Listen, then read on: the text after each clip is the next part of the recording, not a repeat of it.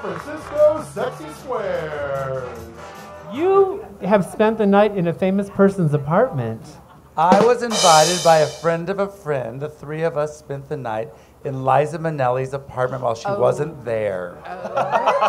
we played her piano in her little music Oh lounge God, with a wow. built-in. Um, I got to pick up all of Judy's awards that were all there. No. I know this sounds creeperish, but No, keep going, I keep sat at her makeup table. She uses Maybelline mascara. We went through all of her drawers. She has a single little thin drawer for every original Halston that she owns, all wrapped in tissue. I know this sounds hella creeper, but I went through her photo albums. I'm so sorry. the worst of it is this: the friend of a friend who invited me propositioned me to stay and have sex. And instead, at three o'clock in the morning, I went home.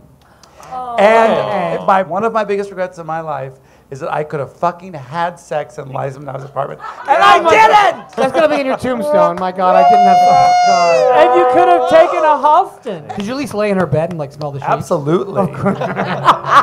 Silk sheets.